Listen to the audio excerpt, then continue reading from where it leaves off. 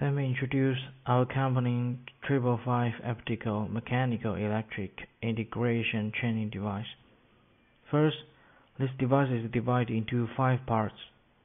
This is control part, which is mainly composed of PLC, inverter, and servo.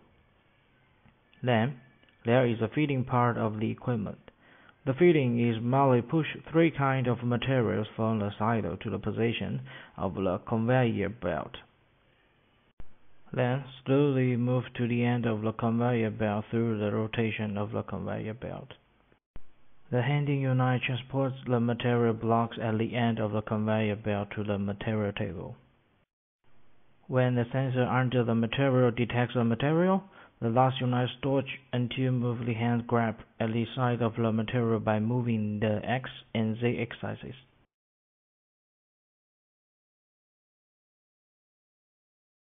The captured materials are placed in different locations in warehouse.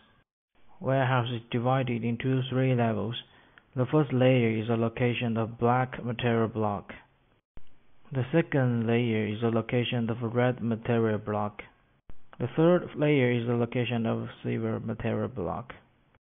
The air circuit is composed of a pan cylinder, a rotating cylinder, and a clamping cylinder. The control part of the air circuit is controlled by a solenoid valve. The solenoid valve model is two-position five-way solenoid valve. And pressure regulator is mainly used to adjust the air pressure in system to achieve stable operation. Next, we power up the device. This is the power supply of device. There are the power supply of each module. Turn on the low level switch before powering the device and then turn on the main power.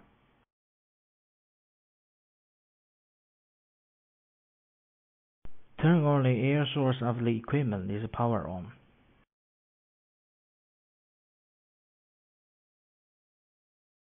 Now, equipment has been powered on normally. After power on, we will find that the yellow light of device has been flashing which means the device can be started under the condition. How to solve the problem?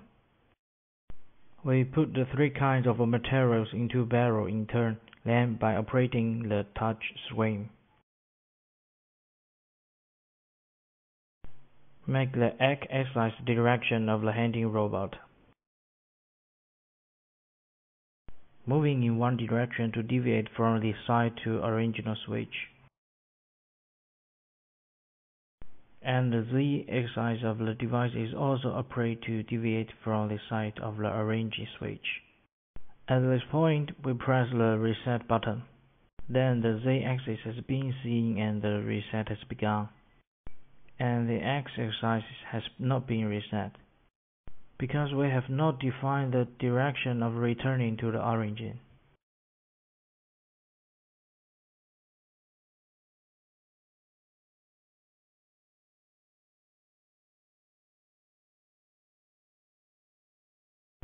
At this time, we see that yellow light has started to stay on, which means the equipment has reached operational condition.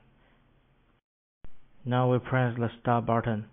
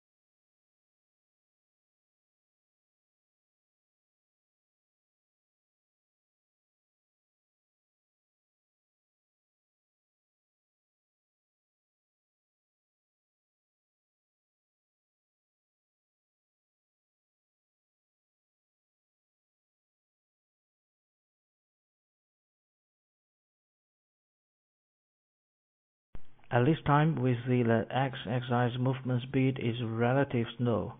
We can adjust the parameters to make the x-axis move faster to 100. The speed will not change when adjusted to 100.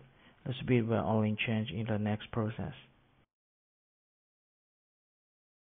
We see that x-axis is moving much faster than before.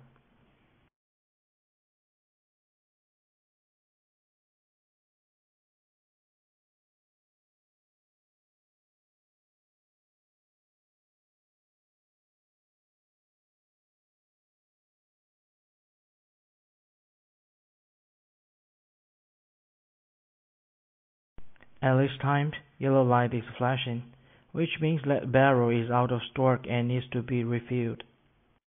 If no feeding is performed, the equipment will stop automatically after completing the exercise and complete the current work. Now there's a red block waiting for a job to finish.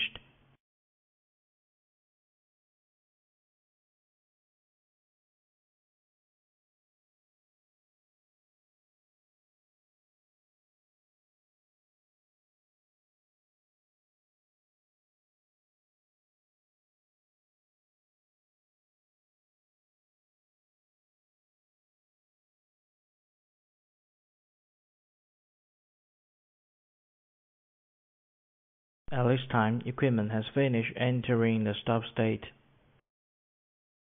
Next, we will introduce the touch screen. The touch screen is divided into the following operable parts. One is the input point detection. We see a lot of red and green boxes representing the status information of each point. We can manually test whether each sensor is working properly. The air circuit can be disconnected so there is no air source in the entire system and the cylinder is within the operable range. At this time, when we pull the feeding cylinder, we can find that the two sensors of the feeding sensor are constantly flickering. At this time, it means that the installation position of the two sensors of feeding cylinder are correct.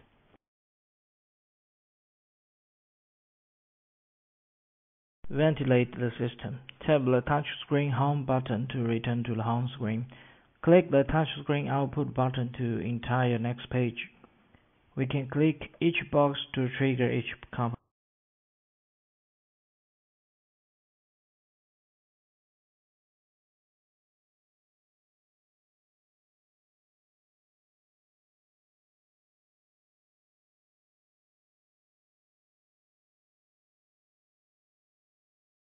Tap the touchscreen home button to return to the home screen. We found that each storage location needs a fixed location. At this time, we need to define the location of each storage location and the countertop. There is a black button in the upper right corner of the touchscreen, which is mainly used for maintenance.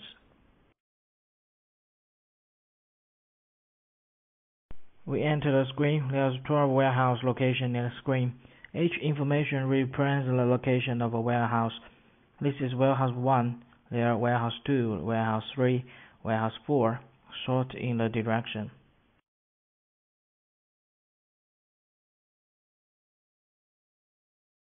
You can see that there are two boxes. One is X position and the other is Z position. Here is a table X position. Here is a table Z position. We can manipulate the graph to the move to the grab in the n, x, and z axis directions. We can also change its speed. We give it a speed.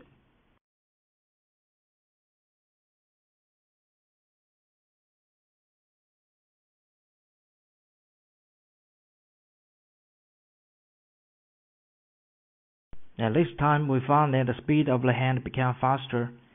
If it's found the current position x is minus 75.20, z is 31.70, when the grasping position in the fifth silo position, we can enter this current position into the fifth box.